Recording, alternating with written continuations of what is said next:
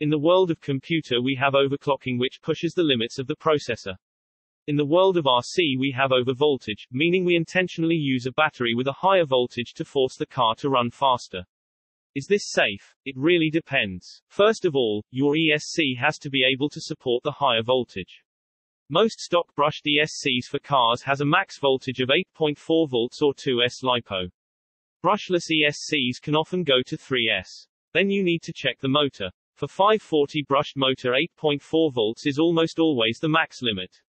Anything higher than that will likely burn the motor. 550 has a much wide range of input. Some can go up to 12 volts or even higher. Again, it depends on the exact model you are dealing with.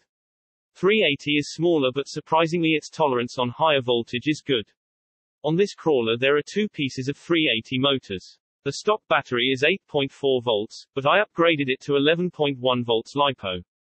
It runs much faster and without any problems so far. Higher power comes with higher temperature though. You need to pay attention to cooling. Overheated electronics can be costly to replace.